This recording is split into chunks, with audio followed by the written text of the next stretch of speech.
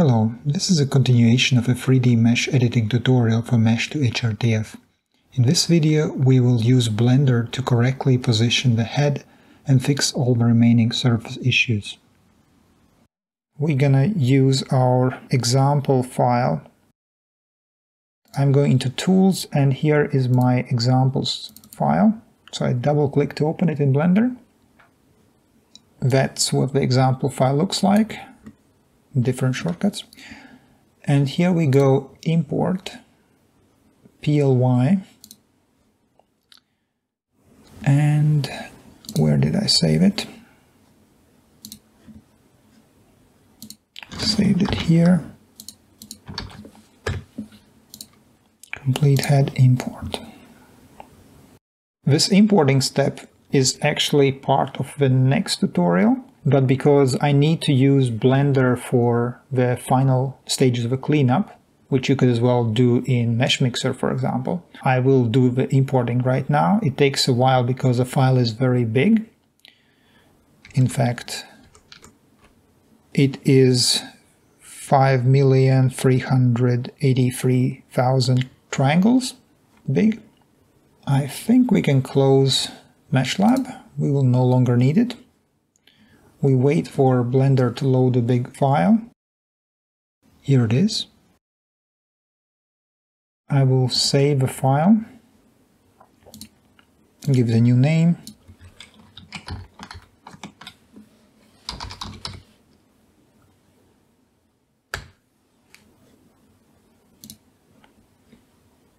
Actually, when you save a file, it's good to go into settings and select compress that saves a lot on the file size. You can see that the head is somewhere down there. Just selecting it in the list or here does the trick. So now we need to rotate it. You can rotate it by using this menu, for example. Get approximate angle. I see I need this one and I type in 90. I got it there. Then I need to rotate it on another axis, not on this one. Undo. This is good, direction is good.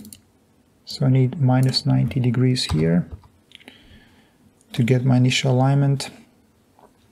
You can again use the numpad numbers to change view. And you see why we needed this example file, because it shows us example of how the head should be aligned. So in the side view, you can press G to grab and locate somewhere around here. And we can go to the numpad 3 for front view.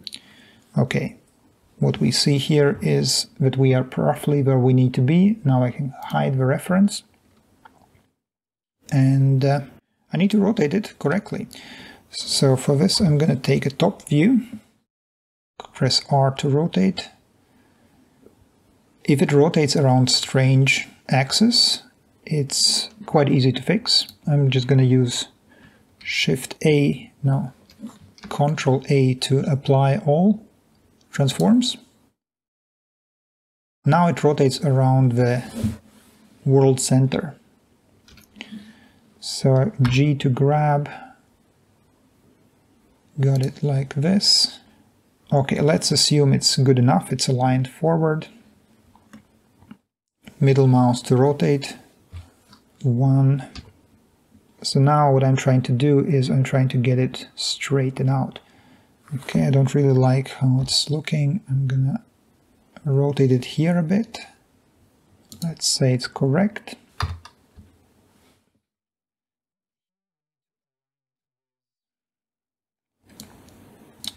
G to grab. We want to get the ear canal at the center. I use Shift Z to switch from solid to wireframe. So this side is good. Control 1 to look at the other side. Looks good. So this is the initial alignment. Again, this is actually part of the next tutorial. But um, I think it's going to be easier to work when it's already in place. Now let's say what we've got.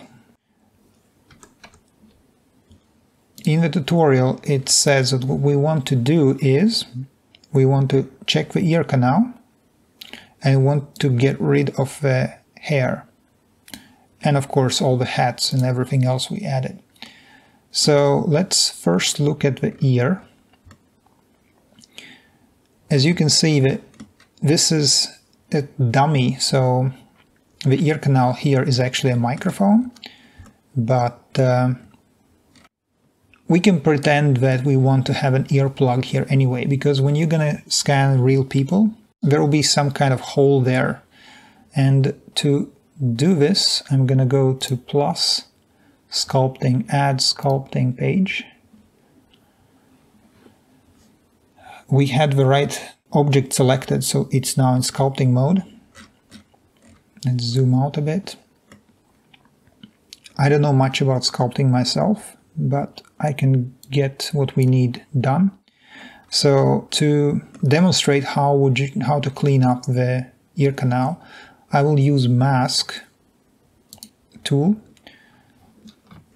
shift left, uh, shift middle mouse to pan, and now I'm gonna I'm gonna try to okay strength to the max you can use F to scale the tool. So now I'm gonna mask the area around the ear canal, which I want to keep.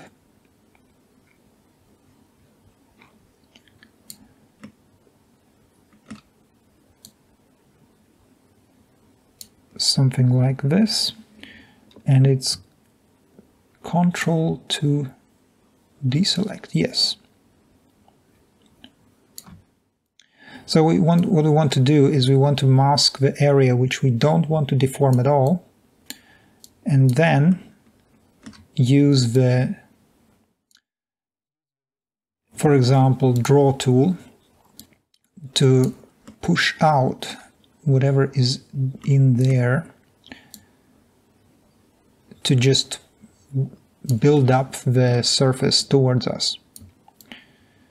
And what we are building right now is we are building an earplug. Remember, I'm just simulating how you would do it on a human. For this camera dummy, this is not the correct thing to do. Press Shift, you are smoothing this. So we first build it up closer to us, and now I'm smoothing it out. And if you do it well enough, if it looks like too much, you can press Ctrl to make a hole there again and smooth it out. So let's assume this is how our earplug should look like. Okay, it doesn't look that nice. So again, I'm going to build it up and shift to smooth it out. Build it up, smooth it out. Hmm. I might have created a problem there. Let's take a grab tool and pull it out like this. Okay, I'm just doing this so that there is no weird holes forming there. Shift to smooth out.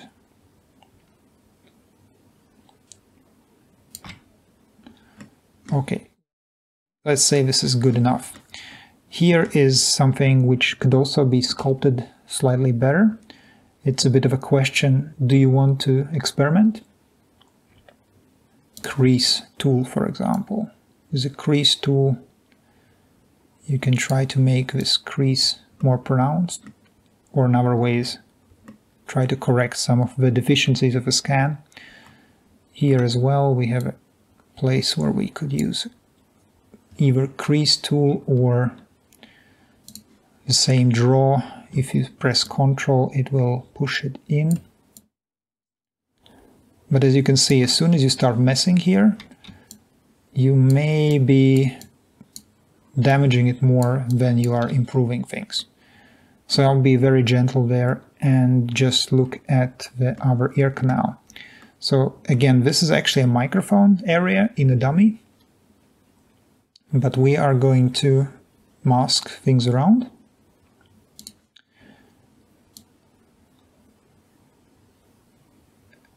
And uh,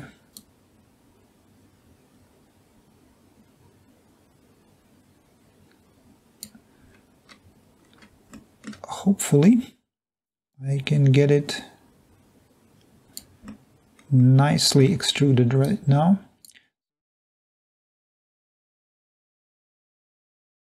Unless you use an actual earplug while you're doing a scan, you will have to do this step, no matter what kind of scanner do you have. So again, I'm going to take draw tool and try to get a good view and pull things out. So I'm building up an earplug. Just wiggling it around and shift to smooth it out. We don't want to create any sharp edges, something unnatural.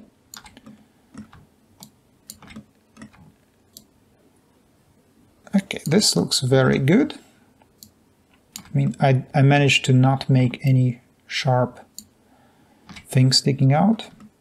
And let's say that this is this is a way I want to see my earplug. It doesn't matter because we're not going to listen to the result. And it's not a natural ear anyway. This was the check the ear canal part. We want to make it look something like this without the wire. Uh, we can go to mask, clear mask to get rid of everything I was masking.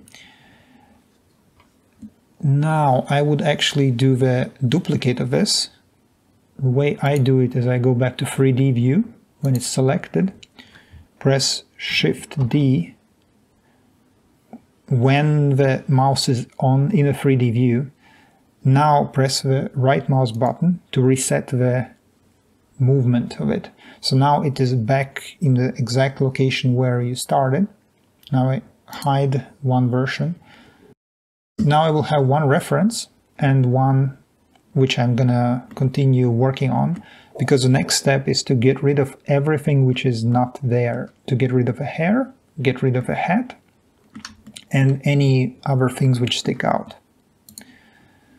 So this is an exercise in sculpting. I am not really good at sculpting, but uh, let's see. First we're gonna use a smoothing tool and just run over the parts which the obvious parts. We have a seam between the detail mesh and uh, base mesh.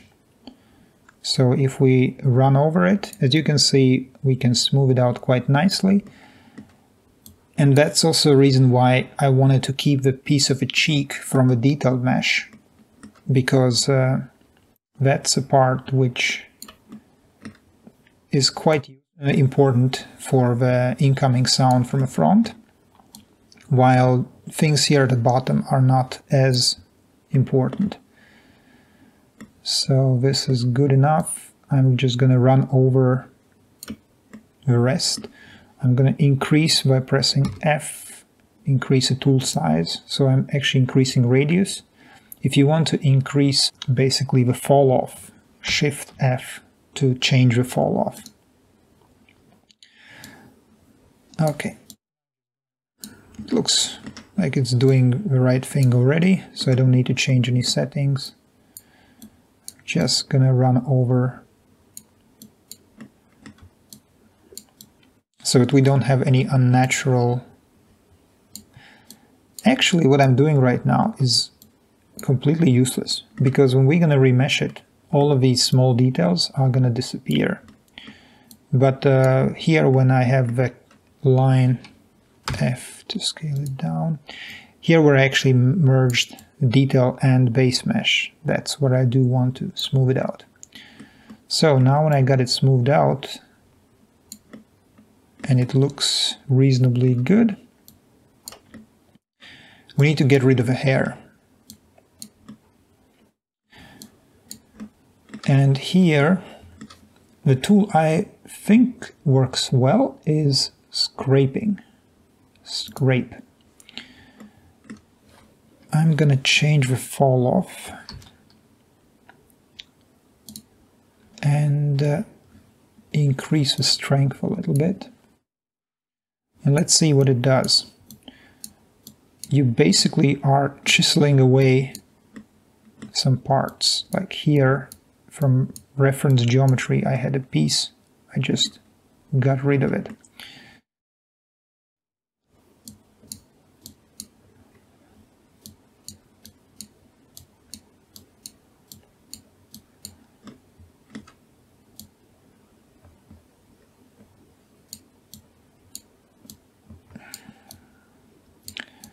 So what you see right now is, going to be a bit of an art process. You can see that, okay, when we get close to the ear, you have to be very careful.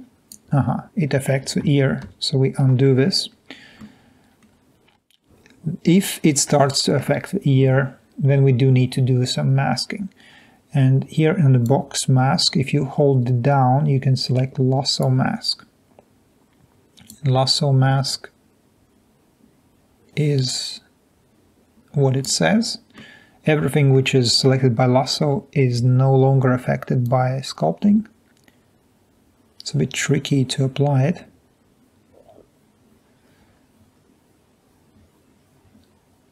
Like this.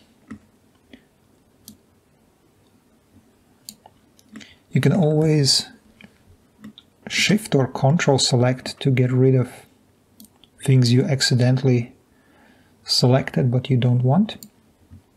Oh, and it selects on both sides at the same time. That's a bit of a trick. Okay, I got lucky and I selected the right things.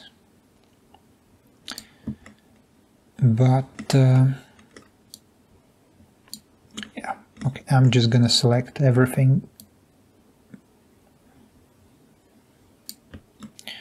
and now we do shift no control.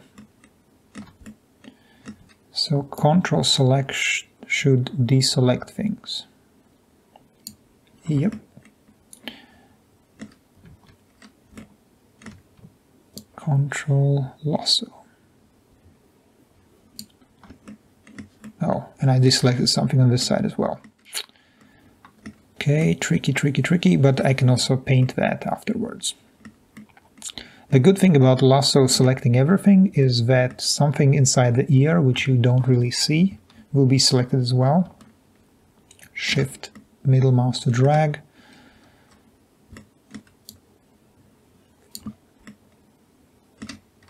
Okay.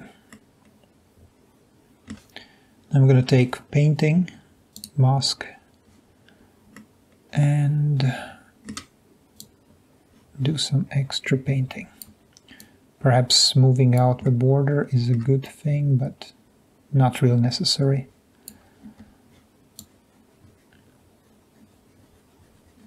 So painting applies only to a, to the surface you, you paint, not through everything, which makes it a bit easier to handle.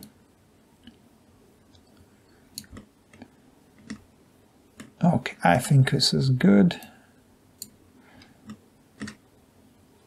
For the painting, you can actually change a brush. Here under Tools, you can see some more settings. I think the same settings are also visible here under Tool, but anyway, you don't really need to know much about it to get things done. So now when we have masked the really important parts, everything else we don't care if we get it slightly off because there might be some hair deforming the shape anyway. I'll press Ctrl S to save. Now I'm going to go back to the scrape tool and uh, do some scraping. I like this tool. I think it works quite intuitively. Here we might actually use something like deflate maybe.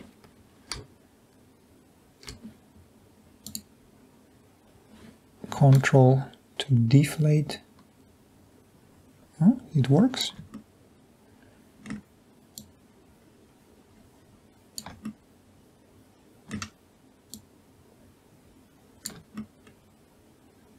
And shift to smooth.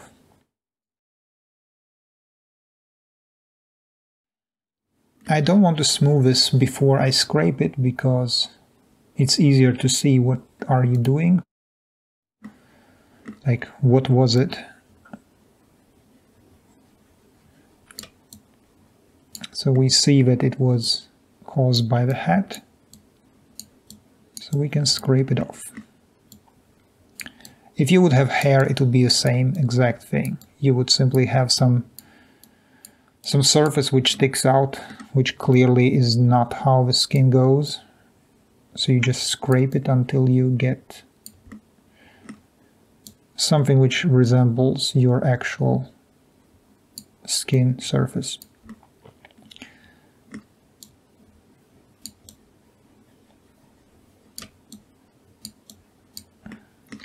As this is a tutorial, of course, nobody cares how well I do this. This dummy will not complain about the sound quality of its SOFA file, but uh, you get the idea how much work it is to clean it up from a hat. If you would have hair, it would be the same thing, only only you would have even, yeah, it depends. You really don't want to edit curly hair afterwards. But you can work with haircuts as well. I tried. Takes some extra work. If you can convince people to shave their head in the name of good acoustics, you see why it would be useful. So you see, because I masked some areas like ears, I'm not as concerned about damaging the ears. But you can still do some damage behind the ear if you are not careful. And because I didn't smooth, I see quite well where I need to scrape some more. So again, does this have to be perfect? No, it doesn't we just want to make it slightly nicer.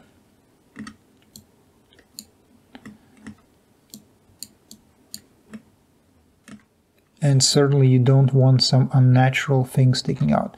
Here I masked too much, which is actually a bad thing. So you can see what happened. It scraped everything above this line, but it did not edit this part, which it should have, or which would need some scraping, but it didn't apply to it. So if we scrape some more, we should Okay, I'll just call it good enough. I'll take shift to smooth and I smooth the rest a bit. Okay, here on top we have some really ugly things. So I scrape that some more.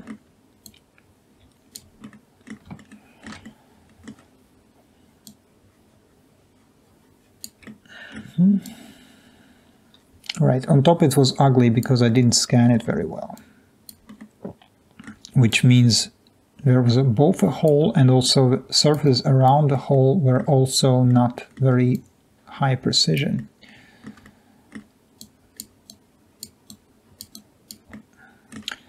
One thing with such filled-in holes is their resolution might be lower and then when you're going to try to smooth it it may cause a problem. You can see that on top of the head here it's almost transparent because here we have very big triangles but if you look like this you can't see through because the mesh is much finer. That means this part is quite difficult to smooth in Blender. Unfortunately, so you would need to actually remesh this to get it easy to smooth like the rest of the head. And there is a remeshing option here, but I don't want to use it at the moment unless I have to. Let's scrape here a bit.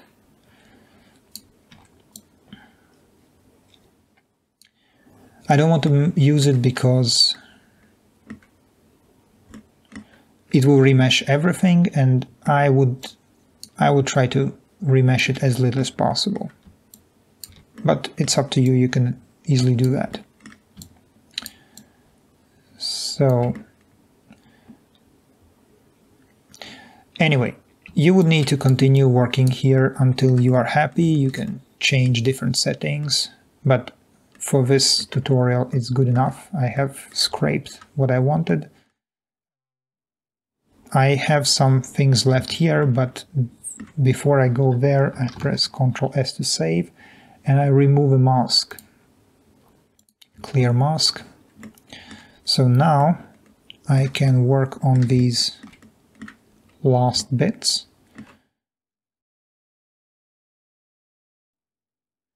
Shift and smooth. Just be careful not to deform the ear. And as you can see, when you try to smooth it, it gets done quite well.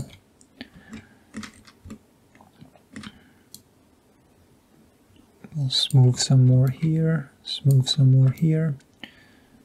Blend together the scraped part and the seam which was masked off.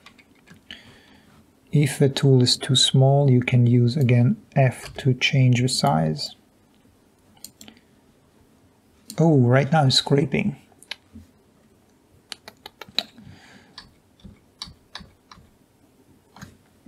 Let me switch to smooth tool.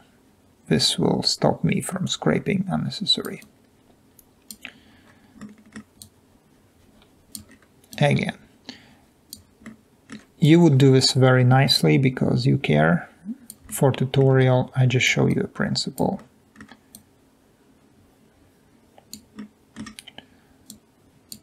Uh -huh. Here we have a bit of a defect, which is natural. You always will have some interaction between scraping and uh,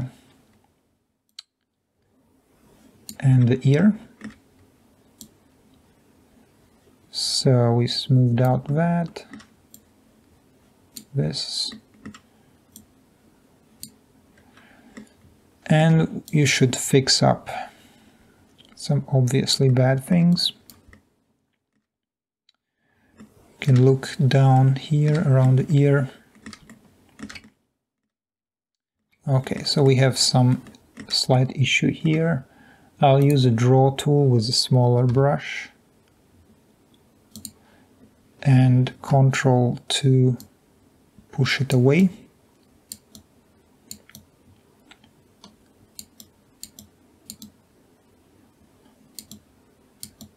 Uh, I don't know, looks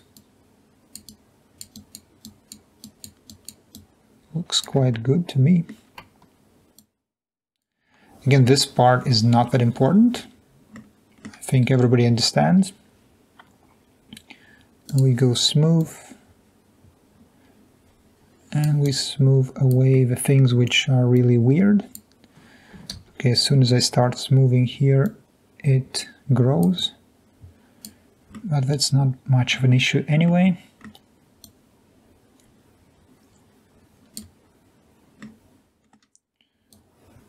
But we do want to smooth out here behind the ear, if possible. Okay, It's a bit... okay. If you rub it long enough, it gets smooth. And in this area I'll even take the pinch. Let's try pinch. Look, no, pinch doesn't look good.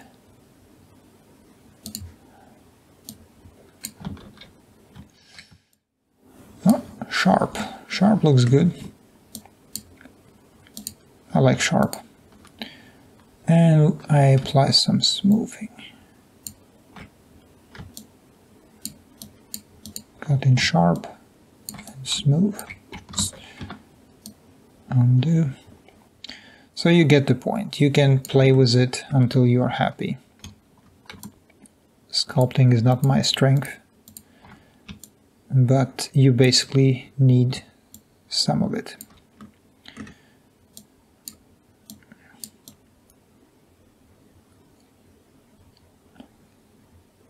Okay. Let's take a look, zoom out. I would say this is very good. You don't really need to worry about more details in this. Here, this spot I don't like. So zoom in, oops, wrong tool, smooth. And rub it long enough until we don't see anything.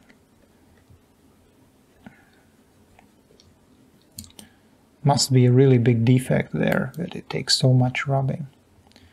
Sometimes you don't see on the surface, but it may go very deep in. Um, okay, okay, okay. Uh -huh. Here, I guess I should. Yes.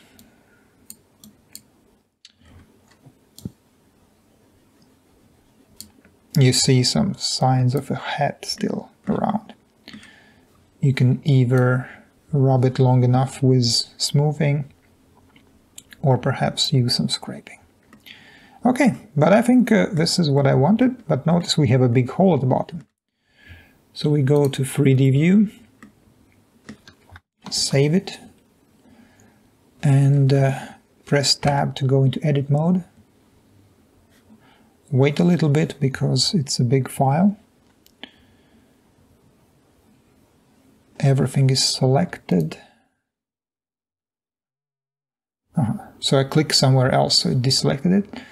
I am in face select mode, but I want edges. It's two on a keyboard. Now I press Alt and click on the edge. Hopefully it registered the correct edge. Yes, it did. So I selected the whole bottom edge. And now I should do under face grid fill, let's try if it works. Yeah, that's good. So we filled in the main hole which was left after mesh reconstruction which merged the ears in. And just to be nice, we'll go into sculpting and smooth out a little bit this area. It's not really important, but why not? It's just going to be nicer. So the bottom of the head really is not that big deal. You can have a straight cut. If you want, you can also have uh, shoulders included. But I would recommend to actually go without shoulders. So, I think this is perfectly good mesh for simulation. Before you say you are done, you need to make sure that it's actually correct, valid mesh. Is it airtight? So I just closed the big hole.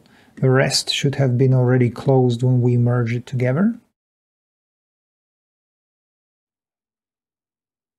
Scale check because I used iPhone and I did not use scaling tools anywhere it should be all good.